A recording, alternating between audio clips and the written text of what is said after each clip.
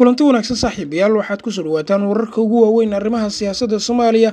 Maantadan oo sabdiyana waxaa ugu dooroon madaxweynaha jamhuuriyadda federaalk soomaaliya mudane xasan sheekh maxamuud oo weerar afka ah ku qaaday madaxweynaha dowlad goboleedka puntland saciid cabdulaahi deni iyo deni oo markaasi ka carooday hadal ka soo yeeray madaxweynaha jamhuuriyadda.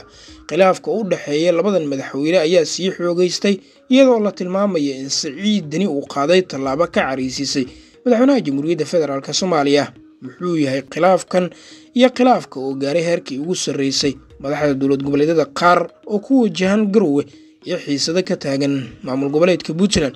Wararkeena inta badan halka ayaan ku faaqidi doonaa balse daawado haddii ay tahay marka kugu horreysa booqashadaada halkan fadlan laegsaar muuqaalkan la wadaag saaxiibadaada beejkan falow yellaa ku reexsiina gudbi muuqaalkan si uu gaaro saaxiibo sidaad oo kale wanaagsan mahadsanid aynu ku bilownaya madaxweynaha muddaxileedkiisa bulooyinkuun uga harsan yihiin saciid cabdulaahi deni ayaa golaha wakiilada mariyey qorshihiisa ku aadan furinta dastuurka puntland gaar ahaan qodobka lix iyo afartanaad.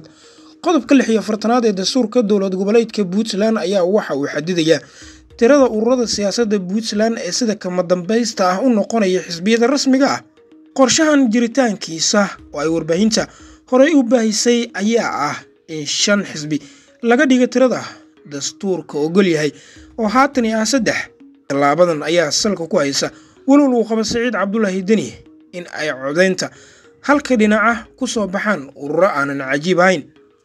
Isbeddelkan uu gadaal ka riixaya saciid cabdulaahi deni ayaa ku soo aadayay xilli qaar ka mid ah. Ururada siyaasadda iyo madasha siyaasiyiinta puntland ay ku aadayeen in uu muddo kororsi sharci darre ah ku raadinayo doorashooyinka golayaasha deegaanka ee waqti xaadirkan lagu muransan yahay. Dhinaca kale madasha siyaasiyiinta puntland ayaa soo saaray qoraal ay kaga hor timid barnaamijka dastuur fulinta madaxweynaha puntland oo muddaxileedkiisu bilowyin uun ka harsan yihiin. Deni ayay ku waaniyeen in uu ka joogsado burburka uu ku wado dowladnimada puntland iyo in uusan horseedin qalalaasyo siyaasadeed mid amni iyo jebinta dastuurka oo ah heshiis bulsho. Baarlamaanka maxkamadda dastuuriga odayaasha dhaqanka iyo shacabka puntland ayay ku dardaarmiyeen in ay si wada jir ah uga dhiidhiyaan. Cuuryaaminta uu deni ku wado dowladnimada puntland. Waa sidai hadalka u dhigane?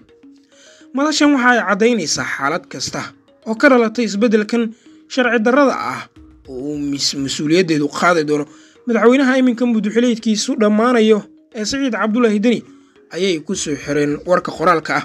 Madaxweynaha jamhuuriyadda federaalk ah ee soomaaliya mudane xasan sheekh maxamuud ayaa caddeeyey mowqifkiisa ku aadan qalalaasyaha siyaasadeed ee ka taagan puntland ee salka ku haya isqabqabsiga doorashooyinka qof iyo codka ah isaga oo ka dhex hadlayay masjid ku dhex yaalla villa soomaaliya salaadii jimcaha kadib mudane xasan sheekh maxamuud ayaa ku waaniyey hogaanka puntland inuu dhegaysto codadka waxgaradka ka aragtida duwan. Iska indhatiridda soo jeedintan ayuu hoosta ka xariiqay inay horseedi karto xasilooni darro siyaasadeed iyo burbur dowladnimo taasi oo dhabaha u xaari karta qalqal amni iyo isgoys aada u khatar u ah. Hoggaanka puntland ayaynu dadka ka tallaabsan dadka xigmad dowladnimo leh ayaa ku nool deegaanadaasi oo hela oo hala dhegaysto maanta meesha aad joogtaan afar iyo labaatan sano ayaad ku soo gaarteen laakiin waxaa suurtagal ah afar iyo labaatan saacadood ka yar inaad ku dumisaan ayuu yidhi madaxweynaha jamhuuriyadda. Dhanka kale madaxweyne xasan sheekh maxamuud ayaa carabka waxa uu ku adkeeyey in maamulkiisa ay si weyn uga go'an tahay inuu la dagaalamo musuq maasuqu ku dhex baahay hay'adaha dowladhiska ah. Wiil yar oo qaata mushaar afar boqol ilaa iyo toddoba boqol ayaa daara dhaadheer ka dhisanaya muqdisho. Nin karameed waaye ayaa la leeyahay laakiin xaqiiqdu waxa ay tahay waa tuug ayuu ka shanqariyey.